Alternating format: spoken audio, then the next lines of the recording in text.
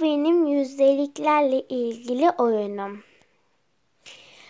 Yüzde 51 artı yüzde 24 eşittir 75.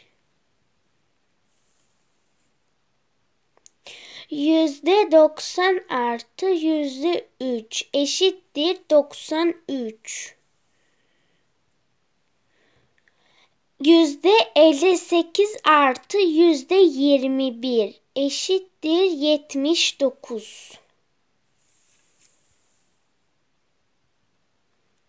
Yüzde 50 artı yüzde 20 eşittir 70.